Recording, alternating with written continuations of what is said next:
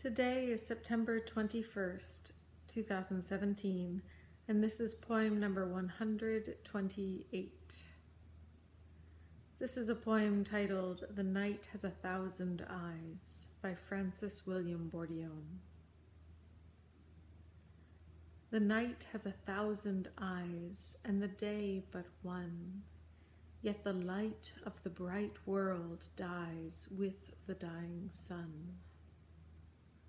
The mind has a thousand eyes, and the heart but one. Yet the light of a whole life dies when its love is done.